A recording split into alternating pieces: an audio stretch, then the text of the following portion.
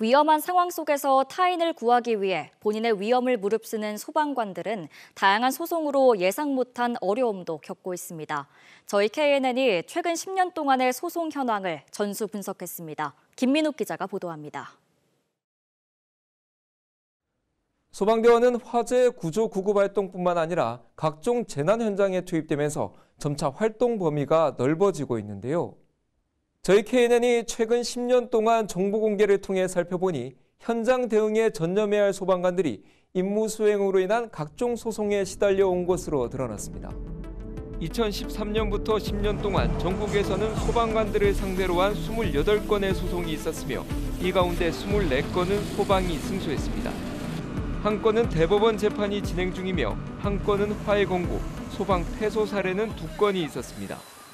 2014년 경남 밀양의 한 주택에서는 화재 진화 도중 거주민이 휘발유통을 들었다 전신 화상을 입었습니다.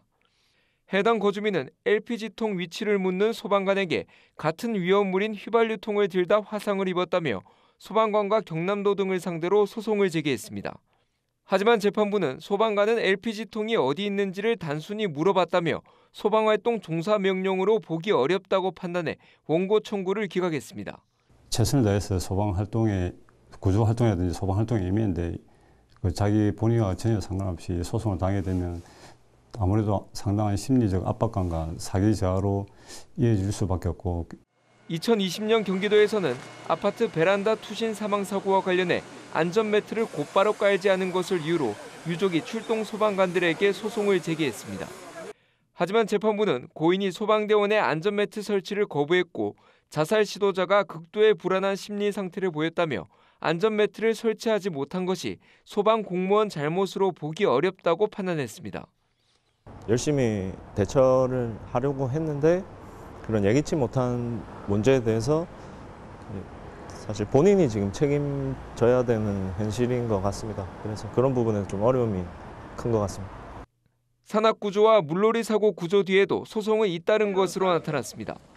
소송은 모두 승소했지만 소방대원들은 과실이 아닌 것을 스스로 입증하는 것 자체가 큰 고통이었습니다.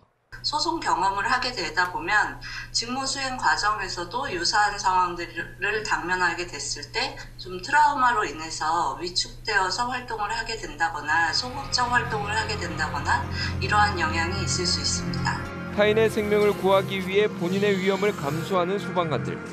하지만 그 뒤에 따라올 소송도 걱정해야 하는 것이 현실입니다. KNN 김민욱입니다.